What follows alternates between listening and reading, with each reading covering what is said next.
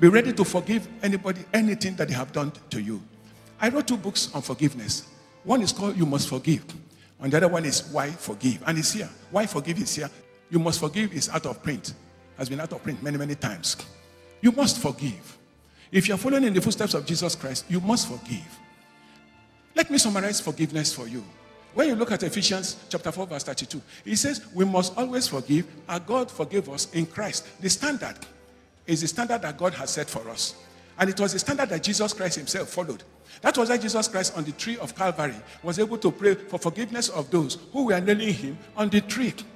That standard has been set. We must forgive.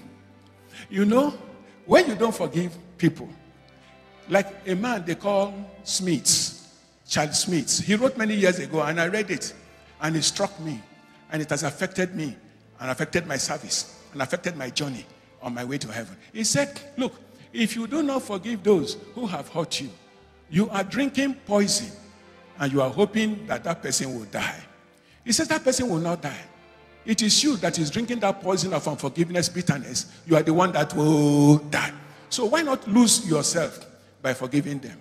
An Igbo man will say, Onye ji mmadụ nana. Can I hear the Igbos finish it for me? Onye ji mmadụ nana ji onwe ya. When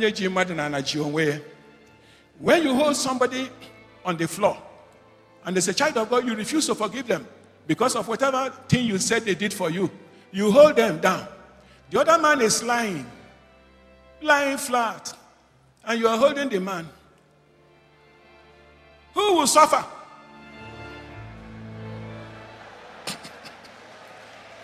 And this man, this man will slip off, and you are there making sure you will release him. You will hold him.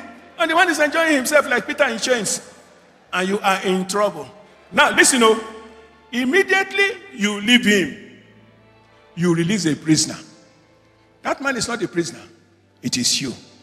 Because you will regain your back your waist. So why do you why do you hold people? Why do you bear grudge? Why do you bear malice? Order You Must Forgive ebook right now on Amazon for Kindle, Apple Books and PastorObi.com. The paperback book is available on Amazon. You can listen to the audiobook on Audible and PastorObi.com. The links are in this post. Please like this post and share. Thank you.